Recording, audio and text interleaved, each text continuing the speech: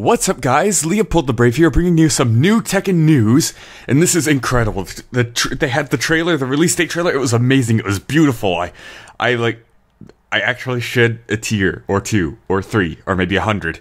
It was incredible. They showed off a ton of new sneak peeks of the cinematic mode. Things are getting crazy. Like everyone's trying to kill each other. Like Lee's trying to kill Elisa. Nina's just like trying to kill Heihachi, but Heihachi's killing everyone.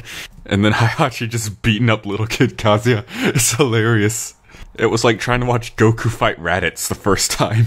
But anyways, we got four new things announced. We got a collector's edition announced. Eliza is coming to the game. Um, uh, uh, they're bringing back the old costumes, which is really cool. And we got the uh, the release date of June second. June second. It's later than all the rumors of like March seventeenth or May twenty eighth. It's June second.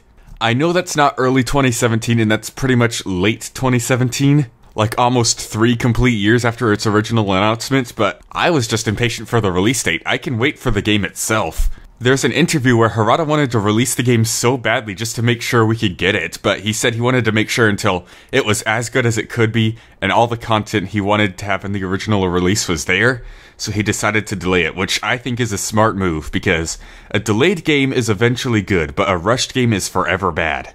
We want all the characters to make it in in the original release. We want all these cutscenes to be super polished. We want there to be as many customization items as possible. So while it may not be early 2017, I am still glad that we're getting it 2017.